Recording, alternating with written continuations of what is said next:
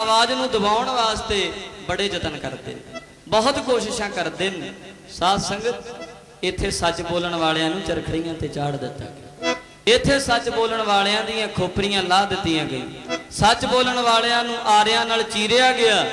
ਕੱਲ ਵੀ ਸਰਵਣ ਕੀਤਾ ਸੀ, ਸੱਚ ਬੋਲਣ ਵਾਲਿਆਂ ਨੂੰ ਦੇਗਾਂ 'ਚ ਉਬਾਲਿਆ ਗਿਆ। ਸੱਚ ਬੋਲਣ ਵਾਲਿਆਂ ਨੂੰ ਤਤੀਆਂ ਤਵੀਆਂ ਤੇ ਬਿਠਾ ਦਿੱਤਾ। ਕਿੰਨੀਆਂ ਪਰਖਾਂ ਤੇ ਖਿਮਾ ਕਰਿਓ। ਅੱਜ ਤੁਸੀਂ ਸੱਚ ਦਾ ਪ੍ਰਚਾਰ ਕਰਨ ਲੱਗ ਪਵੋ। ਜੇ ਸੱਚ ਬੋਲੋਗੇ ਤੇ ਅੱਜ ਵੀ ਜੇਲਾਂ ਤਿਆਰ ਨੇ, ਆਖੋ ਸਤਨਾਮ ਸ੍ਰੀ ਵਾਹਿਗੁਰੂ। ਅੱਜ ਕਿਹੜਾ ਘਟ ਨੇ? ਧਮਕੀਆਂ ਦੇਣ ਵਾਲੇ ਅੱਜ ਵੀ ਬਥੇਰੇ ਪਰ ਸਾਧ ਸੰਗਤ ਜੀ, ਸੱਚ ਕੂੜ ਨ ਕੁੱਟੈ ਨਾਨਕ, ਔੜਕ ਸੱਚ ਰਹੀ। ਹੁਣ ਔਰੰਗਜ਼ੇਬ ਬਾਦਸ਼ਾਹ ਨੂੰ ਕੌਣ ਯਾਦ ਕਰਦਾ? ਉਹਦੀ ਮੜੀ ਤੇ ਕੋਈ ਦੀਵਾ ਨਹੀਂ ਜਗਾਉਂਦਾ। ਧੰਨ ਗੁਰੂ ਤੇਗ ਬਹਾਦਰ ਮਹਾਰਾਜ ਜੀ, ਉਹਨਾਂ ਦੀਆਂ ਯਾਦਾਂ 'ਚ ਵੇਖੋ ਕਿੱਡੇ ਕਿੱਡੇ ਵੱਡੇ ਅਸਥਾਨ ਔਰੰਗਾਬਾਦ ਔਰੰਗਜ਼ੇਬ ਬਾਦਸ਼ਾਹ ਦੀ ਕਬਰ ਬਣੀ। ਮੈਂ ਕੱਲ ਵੀ ਬੇਨਤੀ ਕੀਤੀ ਸੀ।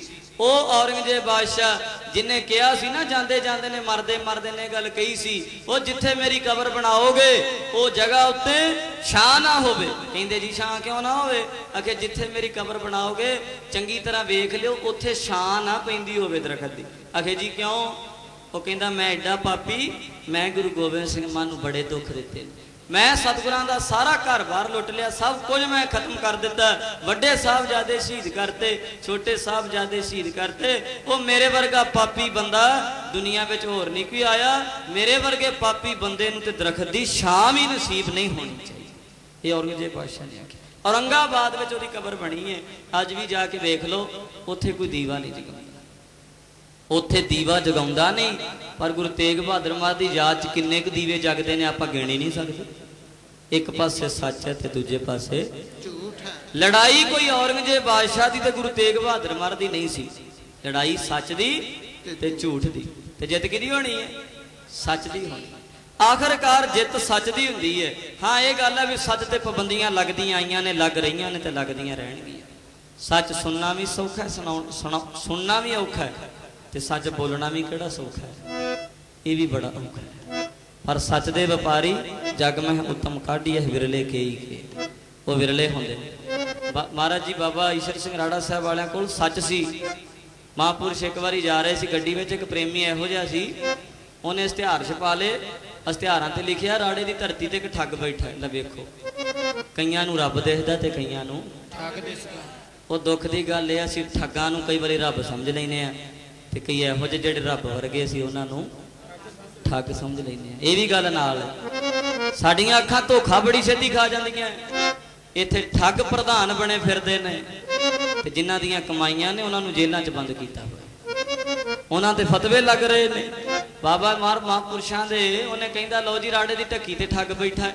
ਛਪਾ ਕੇ ਇਸ਼ਤਿਹਾਰ ਪਿੰਡ ਪਿੰਡ ਲਾਉਂਦਾ ਫਿਰਦਾ ਕਦੀ ਇੱਥੇ ਕਦੀ ਇੱਥੇ ਮਹਾਂਪੁਰਸ਼ ਇੱਕ ਦਿਨ ਲੰਘੇ ਜਾਂਦੇ ਸੀ ਗੱਡੀ ਦੇ ਵਿੱਚ। ਵੇਖਿਆ ਇਸ਼ਤਿਹਾਰ ਲਾਉਂਦਾ, ਗੱਡੀ ਰੋਕ ਲਈ, ਕੰਬਣ ਲੱਗ ਪਈਆਂ, ਲੱਤਾਂ ਕਹਿੰਦਾ, ਲੈ ਹੁਣ ਨਹੀਂ ਛੱਡਦੇ, ਮਾਰ ਦੇਣਗੇ।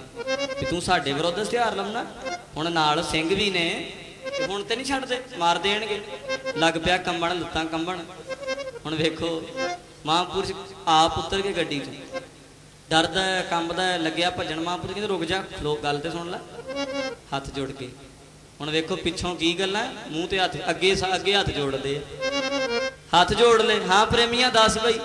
ਅਸ਼ਤਿਹਾਰ ਲਾਉਂਦਾ ਫਿਰਦਾ ਪੜ ਲਿਆ ਅਸ਼ਤਿਹਾਰ ਸਾਹਮਣੇ। ਹਾਂ ਮਹਾਰਾਜ ਅੱਛਾ, ਇੰਜ ਕਰ। ਔਖਾ ਕਿੰਨਾ ਹੁੰਦਾ ਲੈ, ਤੇਰੇ ਕੋਲ ਸਾਈਕਲ ਹੈ ਤੇ ਸਾਈਕਲ ਤੇ ਅਸ਼ਤਿਹਾਰ ਲਾਉਣਾ ਫਿਰ ਪੈਂਡਲ ਮਾਰਦਾ ਮੁੜਕੋ ਮੁੜਕੀ ਹੋਇਆ ਫਿਰਦਾ ਹੈ। ਤੈਨੂੰ ਗੱਡੀ 'ਚ ਬਹਾ ਲੈਨੇ ਜਿੱਥੇ ਕਿਹਾ ਕਰੇਗਾ, ਉੱਥੇ ਰੋਕ ਲਿਆ ਕਰਾਂਗੇ। ਅਸ਼ਤਿਹਾਰ ਲਾ ਕੇ ਫਿਰ ਸਾਡੀ ਗੱਡੀ 'ਚ ਬਹਿ ਜਾ ਕਰੀ। ਕਹਿੰਦੇ, ਅੱਜ ਮੈਂ ਵਿਹਲਾ ਹੀ ਆ ਤੇਰੇ ਨਾਲ ਅਸ਼ਤਿਹਾਰ ਹੀ ਲਵਾਵਾਂ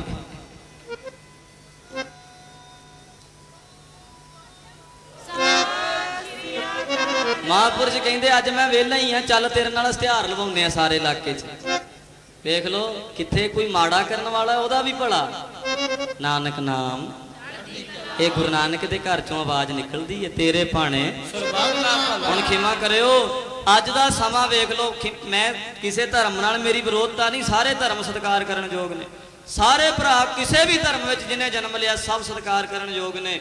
ਗੁਰੂ ਪਿਆਰਿਓ, ਸਿੱਖ ਕੌਮ ਇੱਕ ਐਸੀ ਕੌਮ ਹੈ ਸਾਧ ਸੰਗਤ ਜੀ, ਗੁਰੂ ਨਾਨਕ ਦਾ ਘਰ ਇੱਕ ਐਸਾ ਘਰ ਹੈ, ਤੁਸੀਂ ਵੇਖੋ ਵੀ ਇੱਕ ਦਿਨ ਵਿੱਚ ਕਿੰਨੇ ਗੁਰਦੁਆਰੇ ਨੇ। ਕਿੰਨੇ ਧਾਰਮਿਕ ਤੀਰਥ ਅਸਥਾਨ ਨੇ ਜਿੱਥੇ ਮਹਾਰਾਜ ਨੇ ਚਰਨ ਪਾਏ ਨੇ। ਜੇ ਉਹ ਛੱਡੋ, ਤੁਸੀਂ ਪਿੰਡਾਂ 'ਚ ਵੇਖ ਲਓ ਵੀ ਚਾਰ ਚਾਰ ਗੁਰਦੁਆਰੇ ਬਣੇ ਨੇ। ਇੱਕ ਸ਼ਹਿਰ ਵਿੱਚ ਸਿੰਘ ਸਭਾ, ਇੱਥੇ ਸਿੰਘ ਸਭਾ, ਇੱਥੇ ਕਿੰਨੇ ਗੁਰਦੁਆਰੇ ਬਣੇ ਨੇ।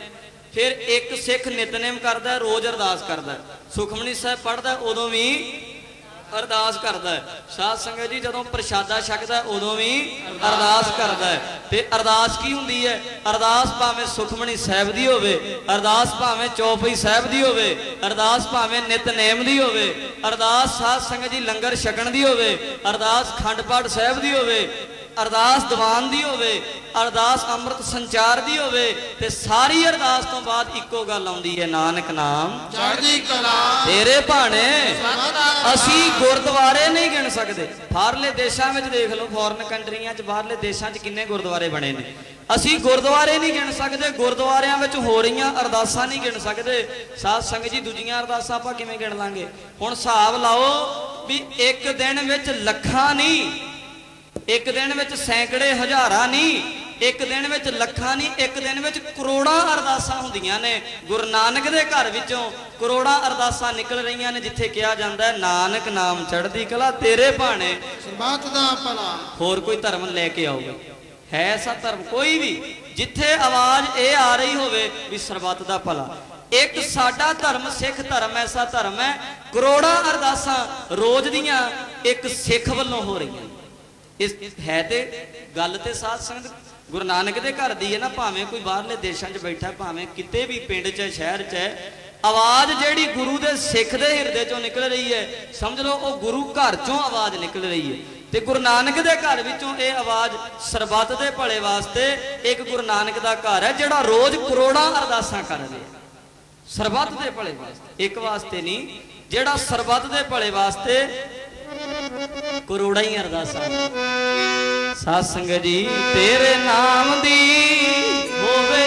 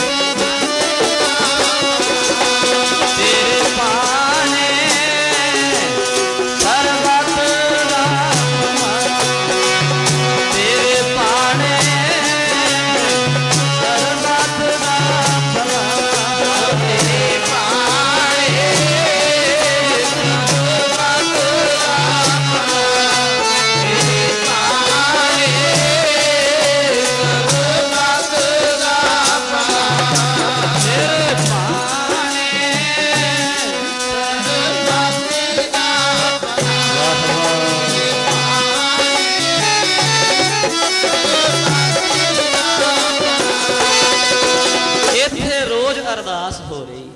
ਗੁਰੂ ਨਾਨਕ ਦੇ ਘਰ ਵਿੱਚੋਂ ਕਰੋੜਾਂ ਅਰਦਾਸਾਂ ਸਰਬੱਤ ਦੇ ਭਲੇ ਦੇ ਵਾਸਤੇ ਹੋ ਰਹੀਆਂ ਸਾਧ ਸੰਗਤ, ਇਹ ਇੱਕ ਐਸਾ ਦਰ ਹੈ। ਐਸਾ ਘਰ ਹੈ ਜਿੱਥੇ ਸਰਬੱਤ ਦਾ ਭਲਾ ਮੰਗਿਆ ਜਾਂਦਾ।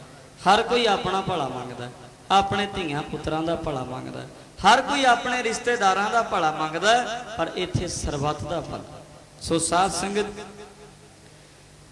ਗੁਰੂ ਨਾਨਕ ਦਾ ਘਰ ਐਸਾ ਹੈ। ਸਰਬੱਤ ਦੇ ਭਲੇ ਵਾਸਤੇ ਕੋਈ ਕਦਮ ਚੁੱਕੇ, ਦੁਨੀਆ ਦੇ ਭਲੇ ਵਾਸਤੇ ਤੁਰ ਪਵੇ, ਇੱਕ ਬੱਚਿਆਂ ਵਾਸਤੇ ਹੀ ਰਹਿ ਗਿਆ, ਕੇਵਲ ਬੱਚਿਆਂ ਦਾ ਹੀ ਬਣ ਕੇ ਰਹਿ ਗਿਆ। ਉਹਨੂੰ ਬਾਅਦ ਵਿੱਚ ਬੱਚਿਆਂ ਨੇ ਪਤਾ ਨਹੀਂ ਯਾਦ ਕਰਨਾ ਕਿ ਨਹੀਂ ਗਾਣਾ ਪਰ ਇੱਕ ਉਹ ਨੇ ਜਿਹੜੇ ਸਾਰੇ ਸੰਸਾਰ ਦੇ ਭਲੇ ਵਾਸਤੇ ਤੁਰਦੇ ਨੇ, ਉਹਨਾਂ ਨੂੰ ਫਿਰ ਸਾਰਾ ਸੰਸਾਰ ਹੀ ਯਾਦ ਕਰਦਾ। ਵਾ ਮਹਾਰਾਜ ਜੀ ਦੀ ਰਾੜਾ ਸਾਹਿਬ ਵਾਲੇ ਜਦੋਂ ਮਹਾਂਪੁਰਸ਼ਾਂ ਦੀ ਬਰਸੀ ਹੁੰਦੀ ਹੈ ਨਾ, ਤੇ ਉੱਥੇ ਕਿਤੇ ਤਿਲ ਸੁੱਟਣ ਨੂੰ ਜਗ੍ਹਾ ਨਹੀਂ ਮਿਲਦੀ। ਇੰਨਾ ਕੱਟ ਨਾਲੇ ਵੇਖ ਲਓ ਕਿੰਨੇ ਸਾਲ ਹੋ ਗਏ। ਮਸਤਵਾਣਾ ਸਾਹਿਬ ਕਦੇ ਚਲੇ ਜਾਓ, ਆਪਣੇ ਚੋਂ ਕੋਈ ਵੀ ਇਹੋ ਜਿਹਾ ਨਹੀਂ ਹੋਣਾ ਜਿਹਨੇ ਦਰਸ਼ਨ ਕੀਤੇ ਹੋਣ ਮਹਾਂਪੁਰਸ਼ਾਂ ਦੇ। ਮਸਤਵਾਣੇ ਵਾਲਿਆਂ ਮਹਾਂਪੁਰਸ਼ਾਂ ਦੇ, ਜੇ ਕੋਈ ਬੰਦਾ ਅੱਜ 100 110 ਸਾਲਾਂ ਦਾ ਲੱਭੇਗਾ ਤੇ ਉਹਨੇ ਹੋ ਸਕਦਾ ਦਰਸ਼ਨ ਕੀਤੇ ਹੋਣ। ਤੇ ਉਹਨਾਂ ਦੇ ਦਰਸ਼ਨ ਵੀ ਕਿਸੇ ਨੇ ਨਹੀਂ ਕੀਤੇ।